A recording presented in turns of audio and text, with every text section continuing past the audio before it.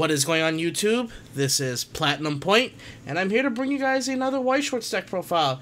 This is going to be on my Fruit of Grisaia deck in Japanese.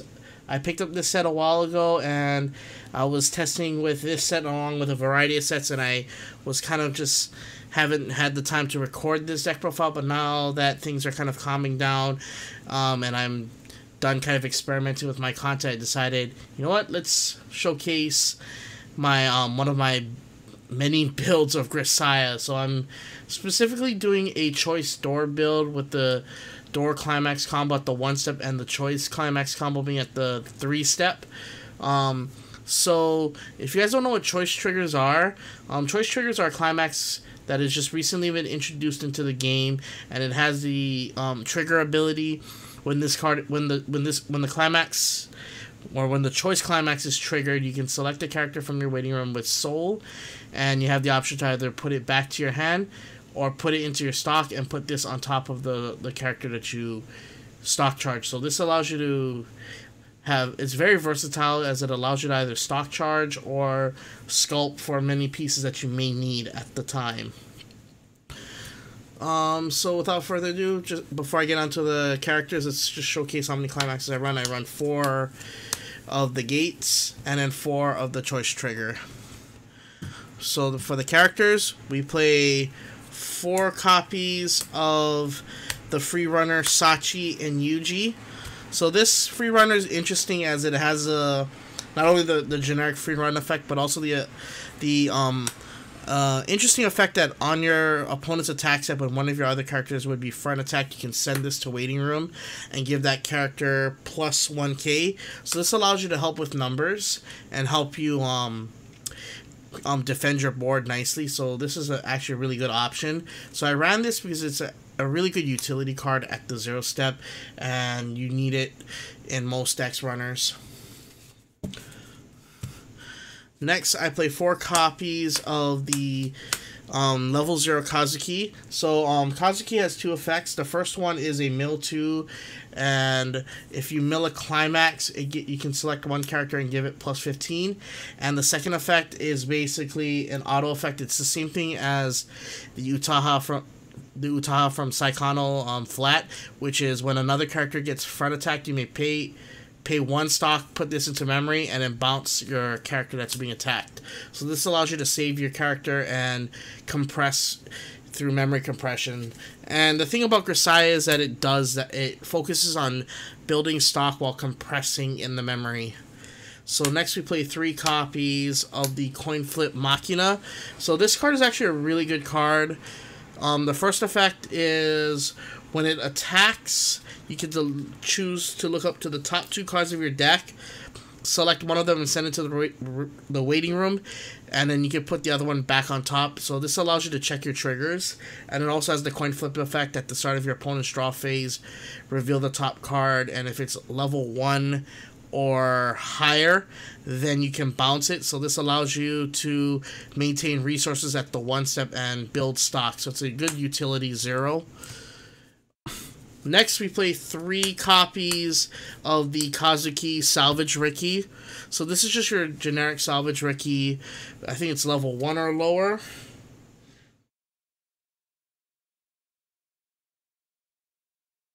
Oh no, it's a, it's a generic... Oh, cost 0 Riki. So it's a cost 0 Riki.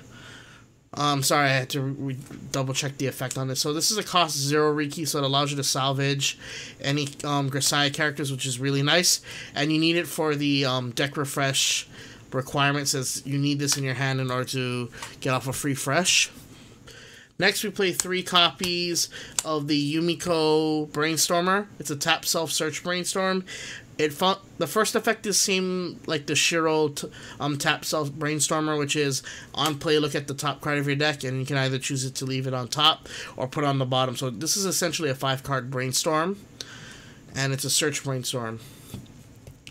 Um, next we played one copy of the Headmaster so what she does is when she comes into play, to look at the top two cards of your deck, rearrange them in any order, and the second on-play effect is you may pay one, discard a climax, and salvage a climax. So this allows you to climax swap for whichever you need at the moment. So if you need the door trigger for your level for your one step, or if you need the choice trigger for your three step, this allows you to um, swap those out. Now for the one step, we play four copies of the Sachi level one climax combo, which combos with this door. So her effect is actually very similar to Go the Goblin Slayer one step, except when it, it's on play, when this climax is on play, when for each um, copy of Sachi of this level one Sachi on the field, you can either salvage or search for your level one event. So if you don't know what this level one event is, this event is basically um, something in a warehouse except you only mill two cards, and you have to salvage a character whose level is equal to the total level of the cards that you mill. So if you mill one level one and one, two level ones, you get to salvage a level two and lower. If you mill only one level one and the other is a zero, then you can salvage a level one and vice versa. So it basically just checks the total levels, and you get to decide. It allows you to to pick which character you get to salvage based on the total level. So it's a weaker version of the um, something in the warehouse event, but it's a decent card because it's an on play instead of an on attack um, salvage or search for event. So this is actually really interesting. I think it's the first one of its kind to have that kind of effect. Um, and it's really nice. I really like the effect, and it also I think ha- gains yeah 500 for every other Grisaia character on board. So this becomes a really big body, and you run it just for the climax combo. It's really good. Plus, non-interactive. Next, we play three copies of the level 1 Suicider Kazuki. So what she does is if you have three cards in memory, she gains an additional soul, and she's a level 1 reverser. So you basically use her to push for damage and to clear boards. So and it's a really good um level 1 for that. And then the last level 1 is a generic 2k backup. Um, Julia Hardera, Barudera, and then for the two step we play one copy of the Amane um, free fresh backup. So her effect is in order to get the free fresh backup you need to discard the Riki from your hand in order to refresh your entire deck. So you that's why I had to play three Rikis, and she's a really good um, good backup generic um, refresh counter. Um, and the last level two I play is the Yumiko anti early play backup. So it's just a pay one, discard two character two cards from your hand, and send a character whose level is higher than your opponent's current level to the waiting room. So it's a generic anti um, anti-early play backup. And now for the three step, I play one copy of the Kazuki 3-2. So what she does is when she comes into play, you get to discard a card from your hand and select another character and give it the ability can't when battle battle involving that card occurs, your opponent cannot play events or backups. And it also has an another on attack ability, discard a Grisaia character your opponent mills the bottom two cards of their deck, and they burn and you burn one equal to the number of climaxes revealed that way. So this allows you to. This is actually really good in a, in a compressed deck because it allows you to get rid of climaxes that might be that might be cruising around at the bottom. Um, but you generically just use this to to prevent anti damage, and I only run one of it because of that.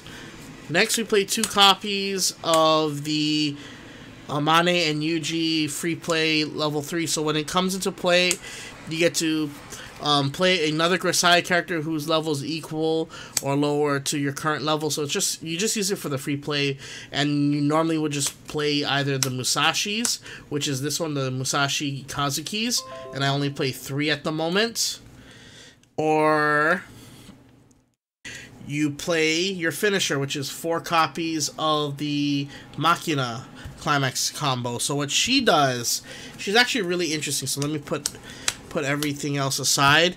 So she climax combos with the choice trigger, and she oh one. Sorry. She climax combos with the choice trigger, and she's an on play heal. So when this is in play, it gains the ability on attack. You may pay one, discard a card, and give a, another character or itself um, on cancel burn. So the burn is equal to the amount of damage you try to inflict, and and your opponent and cancel. So let's say you swing for three and they cancel, you get to reinflict that three again. So this card, this climax combo is actually really good. It's a really good aggro finisher. So normally what happens is the board that you would set up is two Makinas and a Kazuki Musashi with the climax combo. So you would proc one of the on reverse, um, on, on cancel burns on itself so you can bait the clamp the cancel on that at the swing.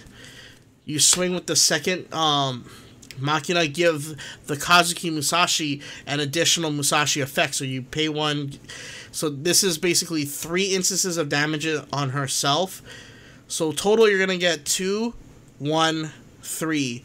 So that's that's about six instances of damage right there. So you can guarantee to get the finish that way. And the best part about this is you get to decide which order you're going to proc the burn effects, the uncancelled burns. So you mainly are going to be using this on a direct lane. And this costs a lot of stock, so you're going to be burning a total of 8 stock just to get the combo going. But it's worth it because it this on cancel burn is disgusting, especially when you pair it with the Musashi, since you're basically giving her multiple instances of damage. And you can even, if you're ballsy, just stack it all on her and be fine with that. But normally, you just want to kind of spread it out. Um, I like the overall. I like um this build of Grisaia because it's a it's a really aggressive build that is also kind of budget actually not really that budget. Since the um I think the Sachis are the more expensive level 1 combo. The Musashis I forget the price already but the deck's pretty pricey but overall I love Grisaia um the next deck I will be posting for you guys will be trying to decide. Oh yeah okay so the next deck that I will be doing is going to be an update on my Sword Art Online deck. Then after that, I will be doing just the rest of the time I'll be doing um, Weiss-Schwarz match videos because I've been recording a few on Tabletop Simulator. I hope you guys like th- that kind of content. I will be doing some discussion videos in the near future. So hope you guys are doing great. Hope you guys are safe. And don't forget to rate, comment, and subscribe. Balls crack that like button. And stay on point, guys. Peace out.